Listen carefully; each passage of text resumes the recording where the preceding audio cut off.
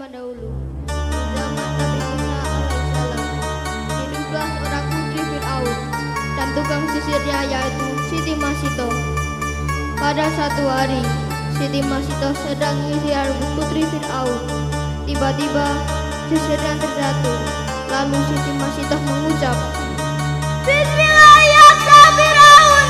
Atas nama Allah, binasalah Firaun. Masito, kenapa engkau menyebut nama Tuhan lain selain ayahku Firaun? Memang selain ayahku ada Tuhan lain?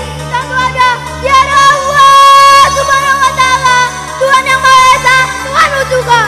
Wahai Masito, apakah kau tidak takut jika aku melaporkanmu kepada ayahku Firaun? Demi Allah, saya tidak takut karena saya hanya menyembah Allah Subhanahu wa taala. setelah Akan itu, saya laporkan kamu kepada ayahku Firaun.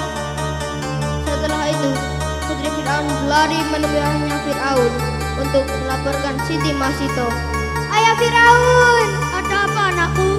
Ternyata Siti Masita sudah tidak menyembahmu lagi dan dia sudah punya Tuhan lain selain dirimu. Apa? Apakah benar perkataanmu itu anakku? Iya, benar ayah Firaun. Kurang ajar. Prajurit, siksa dan bunuh Masito. Fir'aun sangat murka dan menyuruh pengawal untuk mempersiapkan sebuah wadah besar berisi air dan disimpan di atas bara api yang sangat panas sehingga air tersebut mendidih.